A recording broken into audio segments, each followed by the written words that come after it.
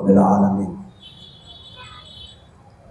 نحمده بجميع المحامد كلها عد الكلم. على جميع نعمه كلها ما علم منها وما لم يعلم. ونشكره سبحانه وتعالى على أياديه وإحسانه ما خص منهما وعم.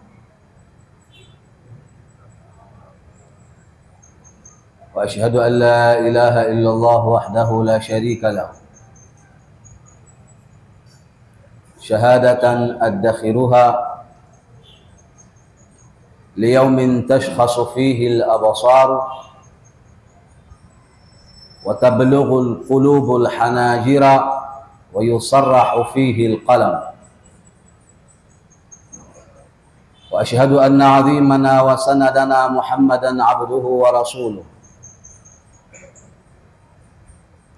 صاحب اللواء ودافع الوباء والبلاء والبلواء والمرض والألم. اسمه مرفوع منقوش مكتوب على اللوح والقلم. شمس الضحى بدر الدجى نور الهدى مصباح الظلم. اللهم صل وسلم عليه وعلى آله وأصحابه الذين اهتدوا بهديه فأصبحوا أنوارا في العلم أما بعد السلام عليكم ورحمة الله وبركاته. Tunamshukuru Mwenyezi Mungu wa Ta'ala kutujalia wakati huu muda huu taimu hii tukawa miongoni mwa wale ambao kwamba tumekusanyika na tukaacha ya kwetu na vya kwetu na yale ambayo kwamba tunayoyaona yana umuhimu kwetu kwa ajili ya kukaa katika nyumba ya Mwenyezi Mungu Subhanahu wa Ta'ala. Na kikao chetu ni kwa ajili ya kusikiliza maneno yake na kwa ajili ya kusikiliza maneno ya mtume wetu Mtume Muhammad sallallahu alayhi wasallam. Bila shaka kikao kama hiki kitukufu, bila shaka nyumba hii tuliyopo tukufu, bila shaka maneno yatakayozungumzwa ni matukufu. Kwa baraka ya sehemu hii, kwa baraka ya kikao hiki, kwa baraka ya maneno matukufu, Mwenyezi Mungu ajaalie yatoke katika ndimi iliyokuwa tukufu na yaingie yabadilishe nyoyo zetu ziwe nyoyo tukufu. Amin, insha Allah. Mada yetu ni mada katika miongoni mwa mada za kwenye nyoyo. Kuna mambo ambayo kwamba yana taalluqi, yanahusiana na moyo au nyoyo, hayahusiani na viungo vya dhahir vya wazi. Miongoni mwa hayo mambo ni mada yetu ya leo ambayo inazungumzia upendo. Ni katika dini, yaani dini yetu ya Kiislamu. Miongoni mwa mambo ambayo kwamba inataka dini ya Uislamu, Uislamu unataka na ni katika mafundisho ya Uislamu, basi ni upendo. Na upendo sio mdomoni. Kwa kutamka na kupenda, sio upendo huo, na wala sio upendo kwa kuzungumza na wala siyo upendo kwa sababu mtu limempata jambo au limemkosa jambo ukamsaidia au akakusaidia ikawa ndiyo upendo. Hatupo huko, lakini huo vile vile ni upendo. Upendo tunaozungumzia sisi ni upendo ambao kwamba una daraja tofauti. Unaweza ukamwambia mtu nakupenda, kwa sababu hata mkeo unampenda, mwanao unampenda, jirani yako unampenda, rafiki yako unampenda, muumini mwenzako unayeswali naye unampenda. Huu ni upendo. Lakini upendo gani tunaozungumzia sisi? Ni upendo ambao Mwenyezi Mungu ameusema katika Qur'an ndani ya surati al-Hashr,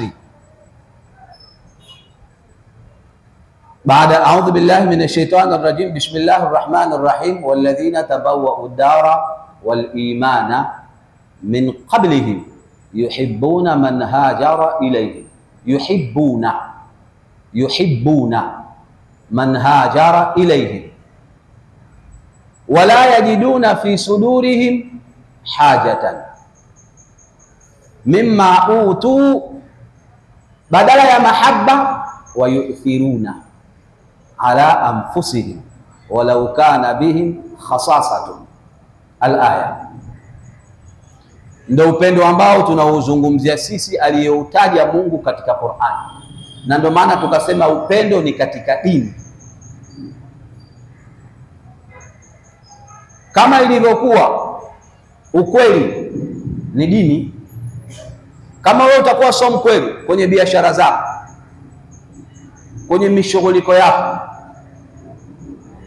kwenye bizinesi zako, kwenye mihangaiko yako, sio mkweli, unayo dini, lakini dini yako pungufu. Dini si Musa Isa, lakini dini yako pungufu, lakini unayo lakini na mapungufu kama sio mkweli, kama vile utakavyokuwa mfano wake wewe unawazushia wenzako. Moja ya sifa zako wewe ni sifa yako kuwazushia watu mambo. Sasa kama itakuwa kwenye simu, sasa kama itakuwa kwenye vijiwe, sasa kama itakuwa katika mabarabara lakini kazi yako kutengeneza michongo, mambo yako kuwazushia watu mambo. Kwako ni ujanja, kwako ni fahari, kwako ni majivuno, lakini dini unayo, unayo, si unaitwa Musa Isa, lakini dini yako ina mapungufu. Kila jambo ambalo Mungu amelikataza ukiwa unalifanya, dini yako inayo mapungufu. Chukulia hivyo hivyo kusengenya, chukulia hivyo hivyo kugombanisha, chukulia hivyo hivyo zinaa, chukulia hivyo hivyo kuchukua wake za watu, chukulia hivyo hivyo umbea, kazi yako umbea, udaku, dini yako ina mapungufu. Hii ni mifano tu, lakini kipengele chetu upendo ni katika dini. Sasa upendo una fadhila na una thawabu na una malipo makubwa zaidi. Kama ukiwa upendo wa dhati ukawa ndani ya moyo, na ndio maana Mungu akawasifu maswahaba. Tena na sifa zenyewe zikapigwa mstari kwenye Qur'ani mpaka leo tunazisoma, na ukisoma unaandikiwa thawabu. walladhina tabawwa'u dara na wale ambao kwamba tabawa udara aisakanu dara alhijra, wameishi Madina, na wale ambao walioishi Madina, waliokuwa Madina, Mungu anakusudia maansari, wale ambao waliompokea na waliomtetea mtume wetu Muhammad, ndio walladhina tabawa udara. Moja hiyo nukta ya kwanza, kwanza tabawa udara walikaa Madina. Miaka miwili kabla ya kuja Mtume Muhammad, wao wako Madina, wanafanya nini? Wanaandaa maandalizi ya kumpokea mtume na masahaba, tabawa udar, kwa sababu pale si kwao. Kwa nini Mungu aseme tena wamekaa Madina, wameishi Madina? Anakusudia maandalizi, hakusudii kukaa. Pale, ni kwao, lazima wakae waishi lakini anachokusudia kwenye Qur'ani tabawa udara, waliketi pale Madina miaka miwili wakiwa wanamsubiri mtume na maswahaba. Ndio maana tabawa udara, wameandaa majumba kwa ajili ya kufikia nani? Sio ndugu zao, sio familia zao, sio wajoma zao wala mama zao. Ah, kuna watu wanawasubiri, hawana udugu nao. Tabawa udara, moja hiyo walladhina tabawwa'u dara, alafu walimana. Nukta ya pili, shukran. Walladhina tabawwau dara walimana, nukta ya pili ndio tujue kwamba daraja ya mapenzi mahaba sio ndogo. Wameandaa vyao kwa ajili ya watu, lakini walikuwa wanaswali hao, sio kwamba walikuwa hawaswali. Ni daraja adhimu ukatoa chako ukaandaa chako kwa ajili ya mtu. Mapenzi bado. Mungu hajayataja bado. walladhina tabawwau udara walimana, aya ilibidi iwe hivi, walladhina tabawwau udara min qablihim. Walimana, ndio ilibidi iwe hivyo aya, yaani mrorongo wa aya ilibidi uwe hivyo, lakini imetangulizwa, imecheleweshwa, imecheleweshwa, imetangulizwa matamko yametangulizwa, mengine yamecheleweshwa, mengine yamecheleweshwa, mengine yametangulizwa, kwa sababu kuna jambo adhimu. Mungu anataka alitamke, aliseme, aliongee, jambo kubwa mno. Walimana, kwanza wametoa vyao, walikuwa wanaswali, walikuwa wanafunga, walikuwa wanakirimiana, lakini baadaye ndio tabawa udara, waliandaa makazi yao ndani ya miaka miwili. wal iman khalafu na imani, maana yake imani yao waliifanya ikawa na ikhlas. Imani haiandaliwi kama nyumba. Nyumba itajengwa, utachimba misingi, sijui utaweka sijui nini, sijui utaweka mawe, sijui utaweka matofali, sijui utaweka, lakini imani hamna. Imani haiandaliwi kama nyumba ina namna ya kuandaliwa kwake, alafu baadaye imani inakuwa na ikhlas. Ile imani inakuwa na ikhlas wal imana, lakini kabla hujaiandaa imani na kabla hiyo imani hujaitengeneza na hiyo imani kabla hujaifanya ikawa na ikhlas, inataka maandalizi ili iwe na ikhlas. Ndio maana ikawa nafasi ya pili wal iman Yani akhlasu fil imani, imani yao ilikuwa na ikhlasi. Sisi tuna imani, huyu ana imani, yule ana imani, mwingine ana imani. Muislamu yoyote ana imani? Yoyote. Yoyote, awe atakavyokuwa, si ana la ilaha illallah na Muhammadur Rasulullah, si ana amemwamini Mungu, amemwamini Mtume Muhammad, mtume wa mwisho, ameamini kuna malaika, ameamini kuna vitabu, ndio imani hiyo lakini imani hii ndio imani hii, walladhina tabawwau dara wal imana, sio tofauti. Akhlasu, kuna imani ambayo inakuwa ina ikhlas, ndio hii sasa. Wal imana, walikuwa na ikhlasi katika imani yao, kwa sababu kabla ya hapo, hata huku nyuma walikuwa na imani. Kwani walikuwa hawana imani mpaka Mungu aitaje? Walikuwa na imani na walimwamini Mungu na walimwamini Mtume Muhammad, tena akiwa Madina lakini hii imani imani gani? Akhlasu fil imani, walikuwa na ikhlasi ya hali ya juu katika imani. Wacha imani ya jina, Musa anaitwa Musa, Juma anaitwa Juma, ana imani yake, lakini ukiangalia matendo yake tofauti. Inawezekana akaitwa Musa, akaitwa Juma, akaitwa Mahmudu, lakini hata kuswali haswali alaka mahusiano na Mungu wake hakuna. Matendo anayoyafanya tofauti kabisa, matendo mabaya ya kifuska ya uovu, lakini imani yanayo. Imani gani? Ya kumwamini Mungu na mtume na vitabu. Ukimfuata, ukimwambia, ukimdokonyolea, ukimwambia bana, eh, Mungu ili bana alipendi jambo, fanya hivi, usifanye hivi, usifanye hivi, atakwambia inshallah, niombe dua hivi na hivi, kwa sababu ana chembe chembe zile za imani. Lakini ukiwa na imani, sio kwamba ndo una mapenzi, una upendo. Hapana. Kwani hakuna watu wana imani? Kwani hakuna watu wana imani zao? Hao hao wenye imani, ana imani ana imani huyo, ana imani, matendo yake. Mbona huyo huyo inawezekana akawa ndo mchawi, si ana imani? Waliyadhu billah. Mbona huyo huyo ndo inawezekana anayekata udugu kwa baba yake au kwa mama yake au kwa mmoja katika familia yake, si ana imani? Lakini imani anayo, lakini sio imani wa akhlasu fil iman, anayoikusudia Mungu. Imani hii ndio inaleta natija mbele, walladhina tabawwau dara wal imana min qablihim, waliandaa. Kumbe waliandaa min qablihim, kabla ya wale muhajirina kutoka Maka kuja Madina.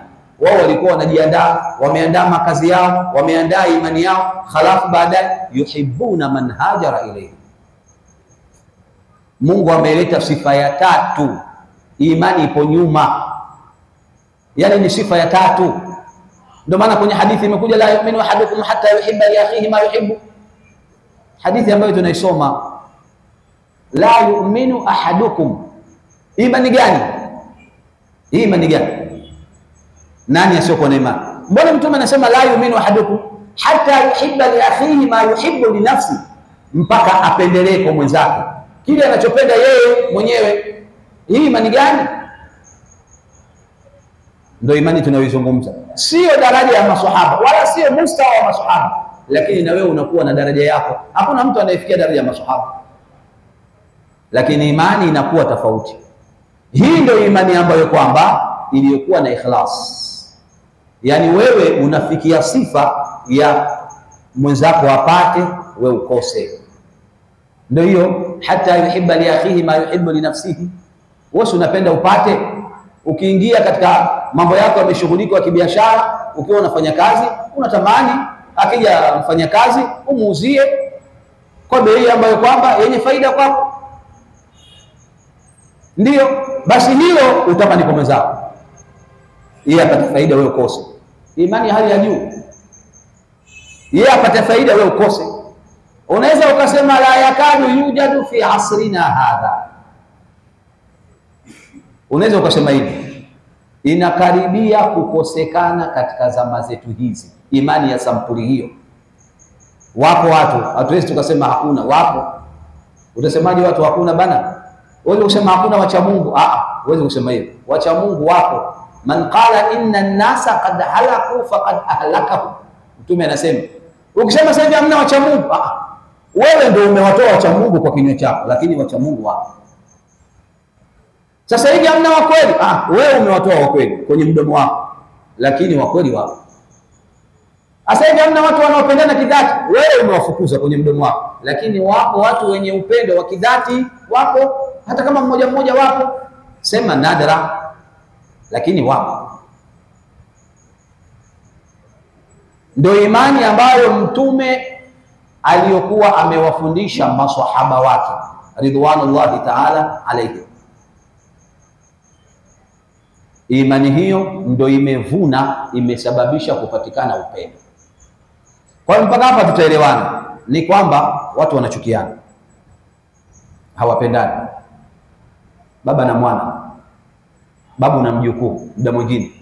Hakuna cha uchawi, hakuna nini, rafiki na rafiki, urafiki, wanavaa suti mzuri, wanatembea wote, wanavaa kanzu vizuri, wanavaa vilemba vizuri, wanavaa sare. Lakini katika moyo, katika mioyo, upendo upo wa kidhati. Upendo huu upo, apate yule nikose mimi. Eh bana, kuna viwanja, kuna kiwanja, mimi nataka ah, nataka nitoe bana, nikupe wewe hiki kiwanja, lakini naona wewe una usahiba na yule mwenzako. Mimi nataka nitoe mwaka huu na ikifika inshallah mwakani nitatoa kiwanja kingine, nataka nikupe wewe, so wakfu wala nini, utajua mwenyewe unavyotaka. Nikupe wewe au nimpe yule rafiki yako.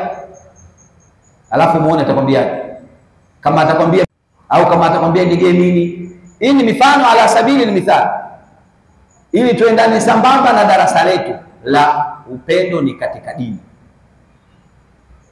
Kwa hiyo upendo ukiwepo ndani ya moyo, huyu mtu ndo yale maneno ya Mtume, imani yake inakuwa la yuminu ahadukum hata yuhibba li akhihi, ay la yuminu imanan kamilan, imani iliyokamilika.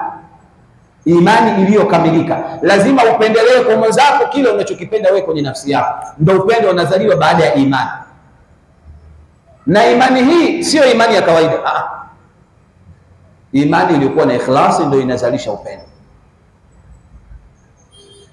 na ndio maana Mtume sallallahu alaihi wasallam amepokea hadithi hadithi al-Qudsi imekuja katika riwaya Imam Tirmidhi, almutahabuna fi jalali ala manabi min nur. Riwaya nyingine almutahabuna fi jalali lahum manabiru min nurin yathbituhum nabiyuna washuhada.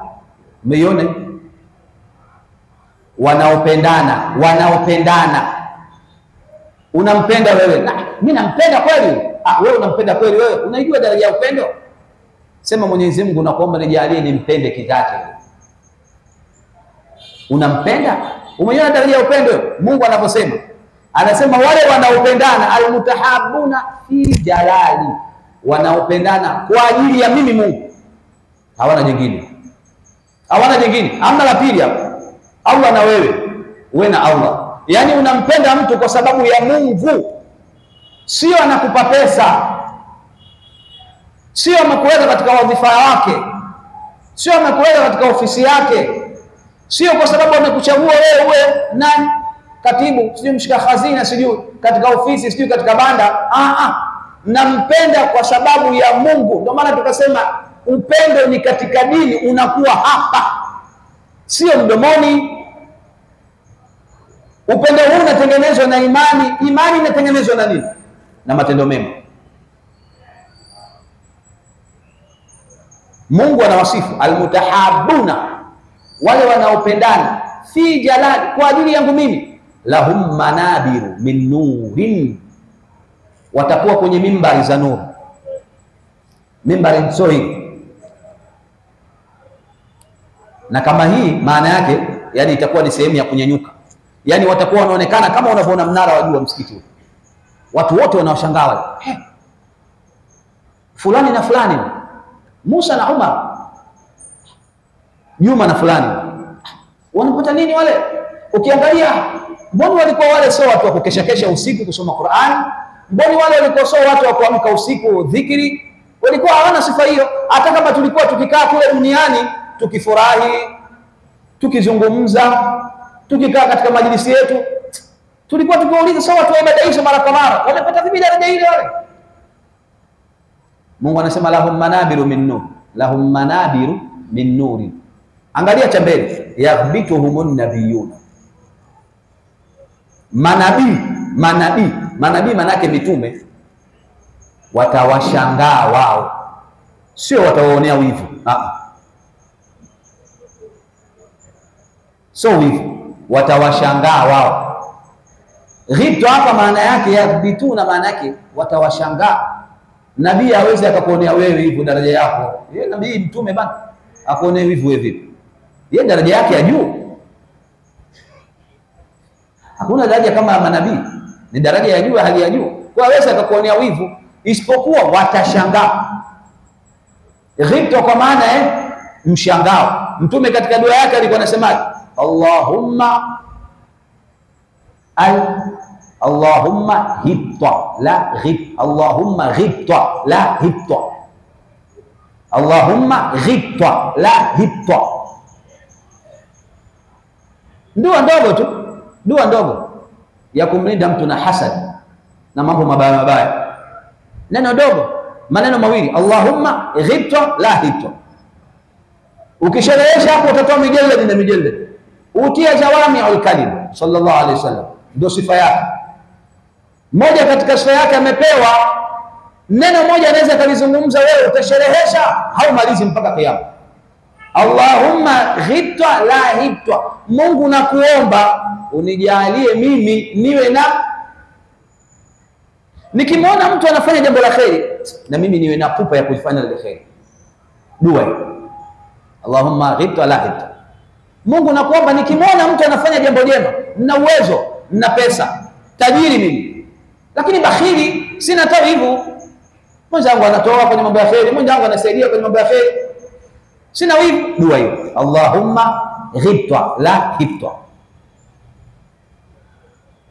nikimwona mtu anafanya anasaidia katika mambo ya kheri, Mungu na mimi nipe himma, yani niumie kwenye moyo wangu, mbona mimi sifanye vile?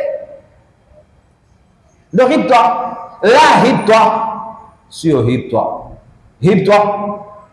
yani wewe ukimwona mwenzako umepata, unamwombea ubaya, ile neema yake iporomoke. Ukimwona mwenzako anapata, anafanikiwa kwenye biashara, unakaa kikao, unaumia roho inauma, nyeusi inakuumiza, inaku inatokota tokota. Kwa nini kapata yule? Amefanikiwa vipi yule? Kampa nani yule? Imekuwaje yule? Ah, ah, ah. Allahumma ghibta la hibta. Hii sasa ya pili. Kwa hiyo manabii watashangaa, hawa watu daraja hii wameipata vipi? Manabii yaghbituhum nabiyuna washuhadau, yani watawashangaa manabii na mashahidi, ambayo ni daraja ya hali ya juu, kuwashangaa watu waliokuwa wanapendana duniani. Yaghbituhum nabiyuna washuhadau, manabii na mashahidi. Ah, hawa walikuwa wana ibada gani wanayoifanya? Jamani, sio upendo kumpenda msanii jamaa, sio hivyo. Ni upendo ule vile vile, lakini ule sio upendo. Ah ah. Lakini na ule ni upendo, si watu wanapenda, wengine wanapenda mpaka wanamwiga vile alivyo ule msanii. Fulani, dola fulani, nchi fulani, eh eh, fulani anatamba eh eh, sasa hivi ipo juu huyo. Mwingine anavaa kama yeye, mwingine anajichora kama yeye, nyota huyo, superstar. Hakuna superstar na hakuna nyota kama Mtume Muhammad na maswahaba hawa ndo nyota na hawa ndo masuperstar, na ndo tunaowazungumza. Kikao hiki kinawahusu wao. Hao wengine wote watakufelisha tu hao duniani tu hapa hapa, hamna lolote. Sio upendo huo, maana kuna wengine wanawapenda hao, tena wanawapenda kwelikweli. Ah, usimtukane bana wewe mbele yake, wala usimseme vibaya, wala usimwongelee vibaya. Inawezekana akawa anaitwa Musa au Umari, huyo huyo lakini azungumzwe vibaya Mtume Muhammad, ona atakavyokuwa, hana habari wala hana time. Wazungumzwe vibaya maswahaba, wala hawana muda. Mseme vibaya, mzungumze vibaya, uone atakavyokutukana, atakavyokumiminia mitusi. Je, ndio upendo wenyewe? Hapana, waliopindana kwa ajili ya Mungu. Riwaya nyingine, wajabat mahabbati lilmutahabina fiya walmutajalisina fiya walmutabadhilina fiya fiya fiya fiya fiya fiya, kwa ajili ya Mungu basi. Kumbe inawezekana Mungu akakupenda kwa kumpenda mwenzako Musa, ndo maana yake. Inawezekana kumbe Mungu akakupa bonge la tunu, eh, bonge la donge nono, akakupa nini? Upendo, akupa mapenzi. Inawezekana kwa sababu ya nini? Unampenda mwenzako kiikhlasi na kidhati. Kumbe inawezekana kiamu leo Mungu akakupenda, sawa. Ibada zako za usiku, bila shaka, miongoni mwa mambo yatakayokufanya upate upendo, Mungu akupende, ukawa una mapenzi kwa Mungu wako, qiyamul leo usiku, ukasimama ukaswali, ukasoma Qur'ani, ukaita dhikri hii miongoni mwa miongoni mwa vitu ambavyo kama vitakavyokufanya Mungu akupende kusoma Qur'an, bila shaka inajulikana. Lakini kumbe inawezekana Mungu akakupenda kwa sababu wewe unampenda mwenzako kidhati, na sio lazima awe ndugu yako. Tunaswali msikiti wa Makonde wote, tunaswali msikiti wa Mtoro. fulani tunaswali naye, ndio ukaanza humo humo upendo, imani inakuwa, imani inazidi, imani inaongezeka, imani inaongezeka, ukapata daraja wewe ya upendo, mapenzi, ukawa unampenda kidhati na Mwenyezi Mungu akakupenda. Wajabat mahabbati, Mungu anasema hadithi nyingine al-Qudsi, lazima lazima, yani mapenzi yangu yamelazimika. Lilmutahabina fiya, kwa wale ambao wanaopendana kwa ajili yangu mimi. Daraja ndogo yani Mungu anakupa upendo. Sio hivyo tu, walmutajalisina fija, wamekaa kikao kwa ajili yangu mimi, kama msikitini, kama nyumbani, kama kuna majlisi kila siku watu wanakaa kazi yao kukumbushana dawa na saha kwa ajili yangu mimi mwabudu Mungu, tuache mabaya, tuache machafu. Walmutajalisina fiya walmutabadhilina fiya, unampa mwenzako, unamsaidia kwa ajili ya Mungu. Sifa tatu. Kwanza, mutahabina, wanaopendana na wanaokaa vikao vyao kwa ajili ya Mungu, wanazungumza mambo ya kheri. Umo umo inawezekana. Nafha, nguvu ya Mola, rehma ya Mungu. Ikateremka. Ikawafikia ikawa ndio sababu ya nyinyi kupendana kidhati na Mungu akawapenda. Walmutabadhilina wanaopendana kwa ajili yangu mimi, wanaopeana. Kumbe inawezekana vile vile kule kupeana, kumsaidia mtu, kumpa kitu mtu, ikasababisha ukapata upendo wa Mwenyezi Mungu. Sio ibada ndogo, sio jambo dogo, upendo, kupendana lakini upendo gani? Upendo kwa ajili ya Mungu unasababisha mapenzi ya wewe kupendwa na Mungu. Kwa hiyo tunachokizungumzia ni kwamba watu kupendana, tena ni katika miongoni mwa mambo ambayo kwamba yamekosekana zama zetu, watu kupendana. Familia hazipendani. Familia hatusemi hao watu ambao kwamba wapembeni, familia hazipendani familia ukitaka kujua hili jambo limekosekana sana, familia kupendana hazipendani, sio wote,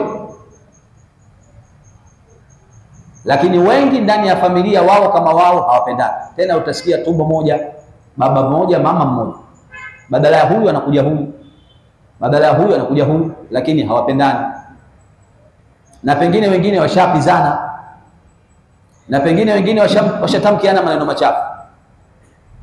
Hawapendani. Hakuna upendo, hakuna upendo, kwa sababu kama unampenda mwenzako kidhati, hayo mengine yanakuja vipi? Kila kitu utakiona wewe hayyin layyin dhaif sahl, basi utakiona chepesi, si unampenda?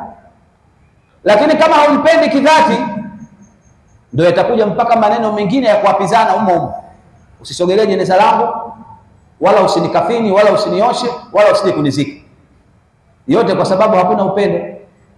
Akihudhuria huyu maiti yangu ijikunje, sijui utajikunja wapi.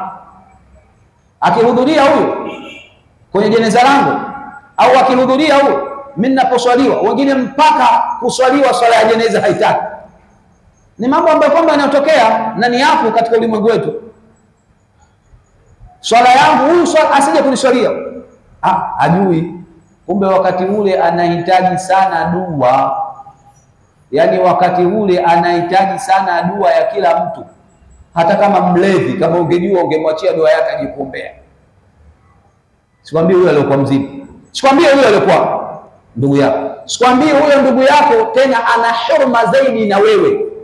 Inawezekana ile hurma yake ikapelekea kumletea tawadho, khushuu, unyenyekevu ndugu yangu, jamaa yangu, kaka yangu, dada yangu, ikawa hurma ya hali ya juu. Kwa sababu ya nini? Ndugu yako. Kwani kwa nini anayetawalia kuswalia ni ndugu? Kwa nini? Kwa sababu ana huruma zaidi, ndio maana akawa ndugu, na ndio maana anatakiwa awe karibu, awe katika yule jamaa maiti aqrabu auliyai, kwa sababu yule ana huruma zaidi. Kwani kwa nini wanaoingia katika kaburi wanakuwa ndugu aqrabu auliya, aqrabu auliyai. Kwa nini? Kwa sababu wale wana huruma zaidi. Kwa hiyo inawezekana yale matendo yao, hata kama kuna jambo wameliona, kama katika kumuosha, kama katika kumkafini, wana huruma, watamstiri, hawasemi, wataficha. Na ndio maana wakatakiwa wawe karibu wakati wa kumwosha, kumswalia, eh, kwenda kumzika, kwa sababu wao wana huruma zaidi, lakini upendo umekosekana mpaka kwenye ndugu, na ndio miongoni mwa mambo ambayo kwamba Mtume ameyasema yatakayokuja akhiru zaman, dirhamun halalun wa akhun tathiqu bihi, dirhamun halalun wa akhun tathiqu bihi, pesa ya halali itakuwa nadra kupatikana na ndugu aliyekuwa mkweli, kwa sababu kama ndio itakuwa hivyo, ndugu wengi sio wa kweli. Lengo ni nini? Pesa. Kwa nini imetufikisha huku? Kitu gani? Mapenzi ya kweli hakuna, na mapenzi hakuna kwa sababu imani inakosekana. Mapenzi yanatengenezwa na imani, imani inatengenezwa na matendo mema. Katika vitu vinavyoleta mapenzi na upendo, miongoni mwa hivyo vitu watu wakapendana, mapenzi yakawa ya dhati, yale aliyosema mtume wenu Mtume Muhammad Hal adullukum ala shay'in idha fa'altumuhu tahabbtum walladhi nafsi biyadihi la tu'minu hatta tahabbu la tadkhulu jannata hatta tu'minu wa la tu'minu hatta tahabbu aw la adullukum ala shay'in idha fa'altumuhu tahabbtum, hamwezi mkaingia peponi mpaka la tadkhulu ljannata hatta tahabu, mpaka mpendane. Kwa nini? Lakini mimi sina swali, kuna haja ya nini kumpenda mwenzangu? Hamwezi mkaingia peponi mpaka mpendane. Umeona nukta ya Mtume? Kwa nini Mtume asema hivi? Kwa sababu katika kupendana utapendelea kheri kwa mwenzako, kwenye kupendana hutomchukia mwenzako, kwenye kupendana hutomkasirikia mwenzako bila sababu, kwenye kupendana. Amekuja mtu katika biashara, kwenye biashara yako, eh bana, unauza bei gani? Hii inauza shilingi alfu moja au hii inauza shilingi alfu kumi au hii inauza shilingi elfu ishirini uko pembeni, huwezi ukasema bana, du anakuuzia bei ghali kweli huyo, elfu ishirini njoo hapa, mimi nakuuzia elfu kumi na tano Huwezi ukasema hivyo kwenye mapenzi, na ni haramu, haramu an yabia arrajulu ala bai'i akhihi. Mtume kakataa yahrumu ala rajuli an yabia bai'a an yabia bai'a akhi, haram. Acha kwanza malizane na yule, alafu ndio uite wewe. Haram, vunja hiyo bei bana, elfu ishirini bana, mimi nakuuzia kwa elfu kumi na tano bana. Ah, ah, ah, ah. Haram, haitakiwi. Sasa kama una upendo wa dhati, huwezi ukafanya hivi, utasubiri. Si una pendo, una pendo kwenye moyo wako na kama una upendo si utapendelea heri kwa mwenzako, utasubiri amemaliza, ameondoka, kashamalizana naye. Ah, eh bana, naona ulikuwa mnaongea nini pale? Bali nikubaliana naye kadha kadha kadha kadha kadha kadha. Mimi nimwambia na amesema anauza elfu ishirini nikamwambia mimi na elfu kumi na tano. Elfu kumi na tano njoo, mimi nakuuzia kwa elfu kumi na tano. Mimi nakuuzia kwa elfu kumi na nne. Lakini wakati huo kule kashamaliza. Haya hayajengwi na hivi hivi tu, hivi hivi tu. Hakuna, yakazaliwa tu kwenye moyo. Hivi hivi, illa man asamahum Allah. Inawezekana, inawezekana Mwenyezi Mungu, wengine wamezaliwa wana mambo kama hayo, ni tabia Mungu ameshawaumba hapo hivyo. Wapo wengine wamezaliwa hapo hivyo, yani tabia yao Mungu amewaumba hivyo, lakini mara nyingi hii inajengwa upendo, unapenda mwenzako apate hiyo, na ndio maana Mtume akasemaje? La tadkhulu walladhi nafsi biyadihi la tadkhulu aljannata hatta tu'minu, hamwezi mkaingia peponi mpaka muamini.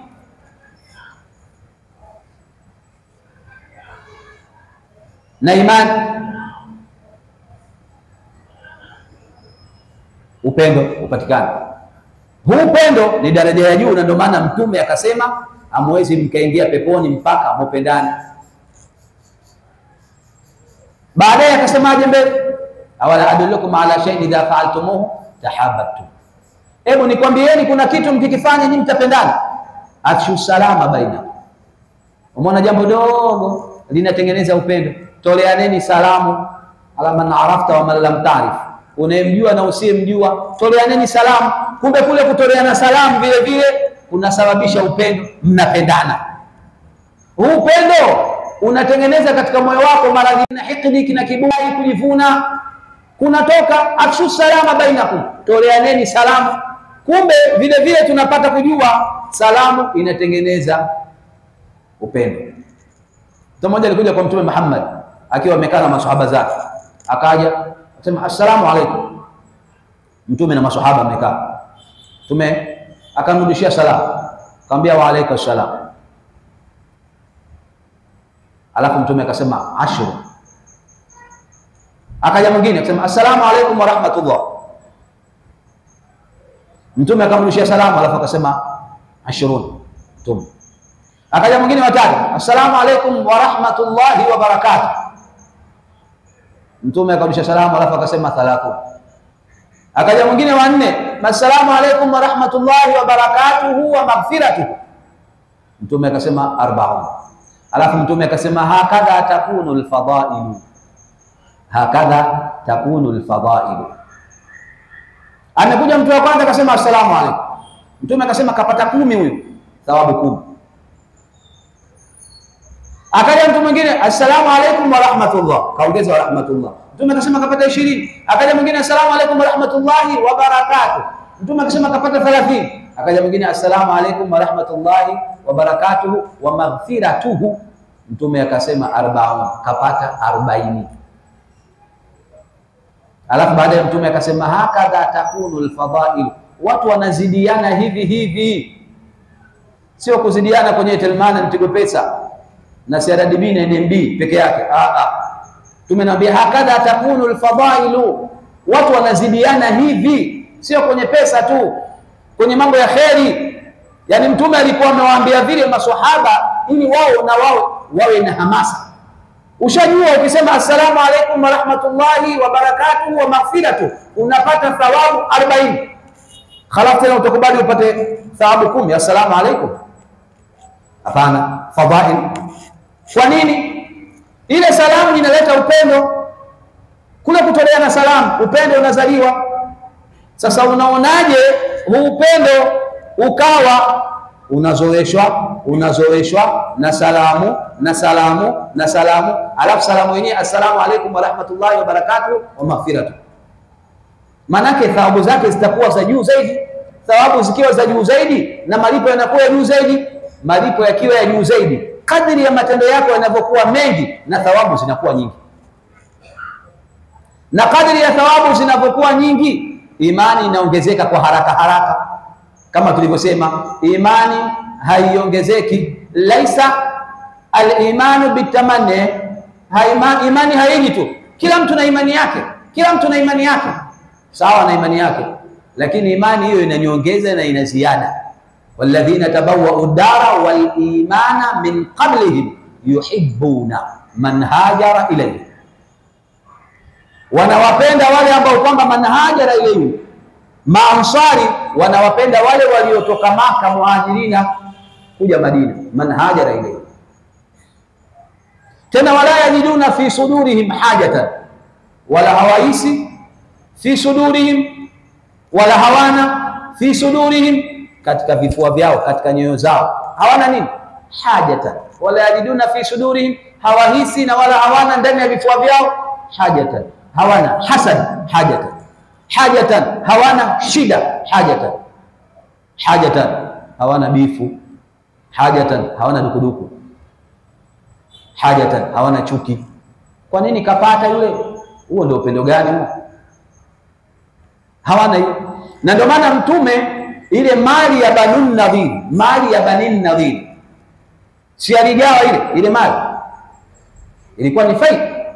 Mtume alichukua ile mali akawapa yoyote watu wa aliwapa watu wa Makka muhajiri, maansari hajampa hata mmoja hajampa. Ndio hiyo wala yajiduna fi suduri hajata mimma utu, kwa yale ambayo kwamba wamepewa wenzao. Hajapewa hata mmoja katika maanswari, mtume hajampa. Mali yote, amewapa muhajirini, hakuna lakini hata mmoja aliyekasirika. Mali ya Bani Nadhir ambao mtume aliwafuata wakakimbia, ukawa hakuna vita, wakaacha mali zao, mtume akawapa zote watu wa muhajirini. Aya ni sababu ndio hiyo, wala yajiduna fi sudurihim hajatan mimma utu, wamepewa wenzao, wao hawana kitu. Wewe unampenda mwenzako, si unampenda mwenzako, ah, sio apewe yeye, ah, ah, afanikiwe tu, afanikiwe, sio kupewa, kufanikiwa, afanikiwe. Lugha zenu mnasema atoboe, alafu wewe uwe chini, utakubali? Upendo? Apewe yeye bodaboda tatu, wewe upewe moja, unampenda yule, utakubali? Yeye viwanja apewe vinne, wewe upewe viwili, utakubali? Jibu lake la, ndio tujue kwamba upendo ni daraja ya hali ya juu na ni katika dini. Wayuthiruna ala anfusihim, umeona hii daraja ya nne. Walladhina tabawwau dara moja, walimana, wameandaa makazi miaka miwili wanamsubiri mtume afike Madina, wanajenga. Taamul. Wao wenyewe kwa wenyewe, tabawa dara walimana. Ya pili hiyo, wana imani wale, lakini wakafanya ikhlas, wakawa na ikhlas, yani imani zao wakawa wanazidi kufanya mema. Imani inaongezeka kwa kufanya mema, imani inaongezeka kwa kufanya mema, kwa kuyatenda matendo ya kheri. Pili tabawa udara walimana yuhibbuna man haja ilayhi, yuhibbuna man haja ilayhi. Daraja ya tatu, wala yajiduna fi sudurihim hajatan mimma utu, alafu wayukthiruna. Ithar ni zaidi ya mahaba, lakini mahaba yale yale. Ithar ni zaidi ya mahaba, mahaba ni daraja ya hali ya juu na ndio maana Mtume akasema kwenye hadithi, idha ahabba rajulu akhahu falyukhbirhu annahu yuhibbuhu, ukimpenda mwenzako mwambie nakupenda. Mwambie bana, Musa nakupenda. Si unampenda? Mwambie nakupenda. Kwa nini? Ili upatikane ushahidi na ile alaka ya upendo, uhusiano. Akijua unampenda, ah, upendo utaongezeka zaidi. Upendo unapoongezeka, ndio ile hadithi tuliyosema mtakuwa kwenye mimbari siku ya Kiyama, watu wanakuangalieni, wale manabii na mashahidi wanawaonea wivu. Upendo baadaye ndio inakuja ithari, lakini hiyo hiyo ithari inatokana na upendo, na ndio maana hata Mtume sallallahu alaihi wasallam alipokuwa amempenda Muadh alimwambia, ya Muadh, wallahi inni uhibbuka thumma usika ya Muadh la tad'anna fi dubri kulli salatin taqul allahumma inni ala dhikrika wa shukrika wa husni ibadati, kampa na zawadi. Muadh, mimi nakupenda. Mtume anamwambia Muadh, Muadh, mimi nakupenda. Muadh, mimi nakupenda na kuhusia Muadhi, usiache baada ya swala kusema neno hili, usiache baada ya swala kulisema neno hili, Allahumma a'inni ala dhikrika wa shukrika wa husni ibadatika. Anampenda, alama ya kumpenda kampa hapo hapo na donge nono, sema Allahumma a'inni ala dhikrika wa shukrika wa husni ibadatika E Mungu, nakuomba nisaidie mimi nikutaje, nikushukuru na nifanye vizuri ibada yako. Al-Arif billah al-Alama al-Habib Umar bin Muhammad bin Salim bin Hafidh ana maneno yake, anasema yurja liman istujiba hadha dua an yakuna waliyan min awliyaillah.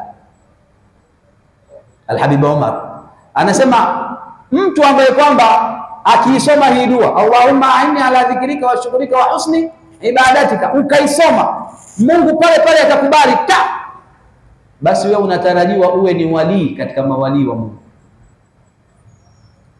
Yurja liman istujiba, kwa yule ambaye atakayejibiwa, kwa sababu unaweza kuomba dua usijibiwe.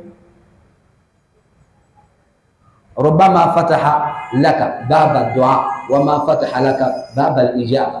ابن عطاء الله السكندري كتك من نياك الشاذلي. أنا سيما يفو. ربما فتح لك باب الدعاء.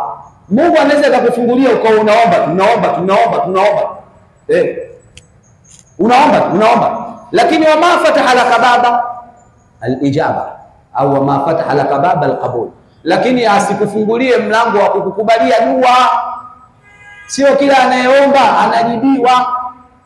Ndiyo, kujibiwa vipi? Hilo nalolitaka, kwa sababu kuna kujibiwa kwa aina nyingi ama dua kujibiwa lazima inajibiwa. Wakala rabbukum ud'uni lazima ijibiwe. Kwa hiyo inawezekana kukujibu kwake hakupi unachokitaka, akakupa thawabu siku ya Kiyama, ukoona milima mikubwa ya thawabu, kakujibu. Inawezekana asikupe unachokitaka, akakuondoshea balaa. Alikupangia kwenye lauhi mahfudh tangu zamani ugongwe na gari, badala yake akaondoa ukagongwa na baskeli, kakujibu. Lakini tunachokusudia sisi kujibiwa kile unachokitaka. Mungu nipe mke mwema, unachokitaka ndio tunachokusudia sisi. Mungu nijalie niwe tajiri, nikiwa tajiri Mungu nitawasaidia watu. Hiko hiko ndio hiyo dua, ukiisoma ikiwafiki, tena sio utakipata hiko, wewe utakuwa ni walii katika mawalii wa Mwenyezi Mungu, alama ya kwamba alikuwa akimpenda, alama ya upendo, kampa zawadi ya dua. Wayuthiruna ala anfusihim, ithari ni mahaba, lakini mahaba yanavyoendelea, upendo unapokuwa wa ikhlas, unampenda mwenzako kwa ajili ya ikhlas kidhati ndio inazaliwa ithari. sasa. Na maana yule mtu mmoja alipokuja kwa Mtume Muhammad sallallahu alaihi wasallam, mtu jaa rajulun ila nabii, na ni hao hao muhajirin, hao hao muhajirin, aya iko pale pale, alikuja kwa Mtume na ilikuwa Madina. Hii, wayuthiruna ikikisa kilikuwa Madina. Alikuja kwa Mtume akamwambia, ya Rasulullah, inni majhudun. Fa arsala ila ba'd nisa'i. Walladhi ba'athaka bilhaqqi ma indi illa ma. Riwaya imekuja. Alikuja kwa mtume akamwambia Rasulullah, mimi na njaa, nina njaa. Mtume akamchukua mgeni, twende. Mtume akampeleka kwenye nyumba yake ya kwanza, fa arsala ila baadhi nisa'i, akampeleka kwenye nyumba yake ya kwanza. Kuna nini huko? Mtume anamuuliza mke wake, mmoja katika mke wake, nyumba ya kwanza. Yule mkewe akasema, walladhi ba'athaka bilhaqi ma indi illa ma'un amna kitu ndani ya Rasulullah, kuna maji tu, amna chakula. Mtume akaenda naye kwenye nyumba ya pili, mgeni. Mtume anaangaika na mgeni, sehemu nyumba ya pili vile vile.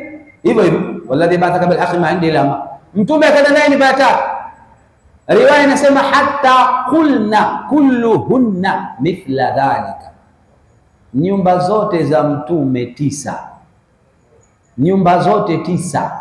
Wote kwenye nyumba ya mtume wanasema, mtume, hapa hakuna kitu, kuna maji, kuna maji tu.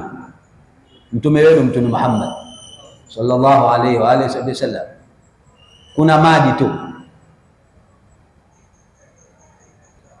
Mmoja katika ma, maansari sasa, baada ya mtume kutangaza wito, haya nida, mayudhifu hadhihi laila, nani atakayemkirimu? Kwake? Hamna kitu, nani atakayemkirimu? Yule mmoja katika maansari akasema, ana ya Rasulullah, mimi hapa, haraka haraka. Alafu haraka haraka akakimbia kenda kwa kwa mkewe, anakwambia kuna nini nyumbani? hal indaki min shay, kuna kitu chochote?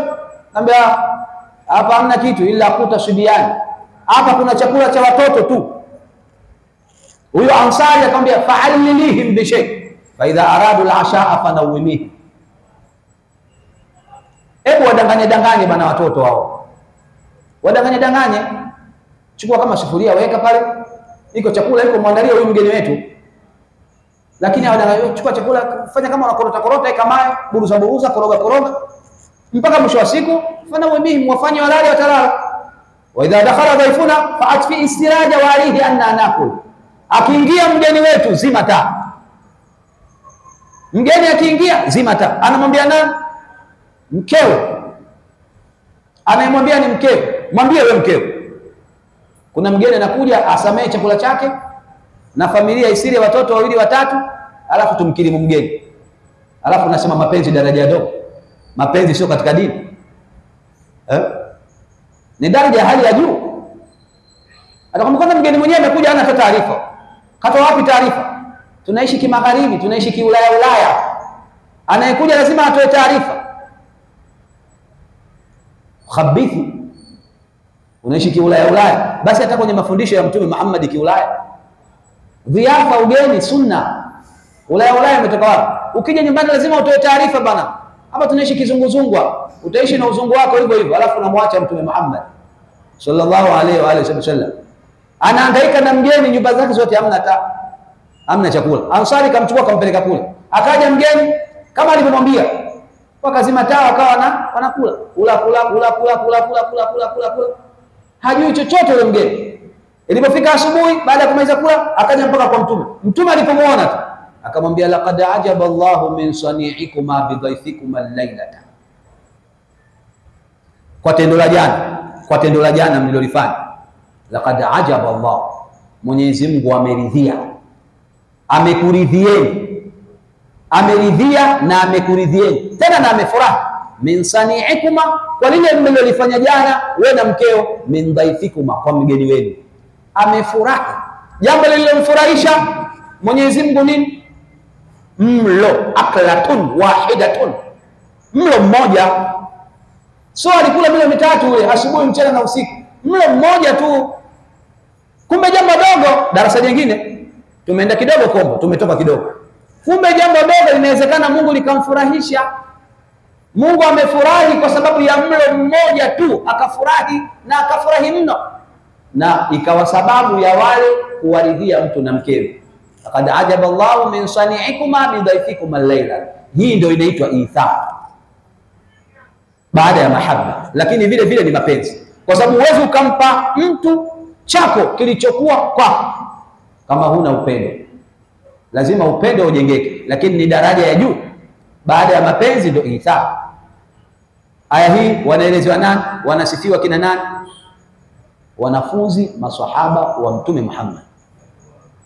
Walivyokuwa wanapendana, na kule kupendana kwao kukatanguliza na kukazalisha tija ya itha. Na mtu ukimpenda umwambie tumezungumza, na vile vile akikwambia nakupenda, na wewe mwambie hivi, ahabbaka Allah alladhi ahbabtani lahu Bana, nakupenda, mwambie ahabbaka Allahu alladhi ahbabtani lahu, na wewe Mungu akupende, na wewe Mungu akupende. Tahadu tahabu, pea nini? Zawadi, mtapendana. Zote hizi kutoleana salamu, sababu ya kupendana, kupata hii jambo tunalolizungumza, kutoleana salamu, unayemjua na usiyemjua. Tahadu tahabu, pea nini? Zawadi, mtapendana kupeana zawadi ni sababu ya kupendana, tunatengeneza upendo. Watasafa, na mupeane mikono. yadhhabu lghillu ankum, chuki itaondoka kwenu nyinyi, kwa baraka ya msikiti, kwa baraka ya masharifu, kwa baraka ya mashekhe, kwa baraka waliohudhuria. Tuifanyie tatbiq hii hadithi, tahabu tahabu, watasafa, mupeane mikono. yadhhabu lghillu ankum, chuki itaondoka kwenye nyoyo. Chuki ikiondoka, tutapendana huenda kupeana mikono kwetu katika sehemu tukufu, Mwenyezi Mungu atajalia upendo katika nyoyo zetu. Mimi naanza kumpa mkono imamu, tupeane mikono. Wassalamu alaikum warahmatullahi wabarakatuh.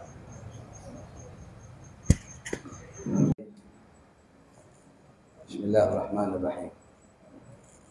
Wasiokuwa Waislamu vile vile wanahitaji upendo.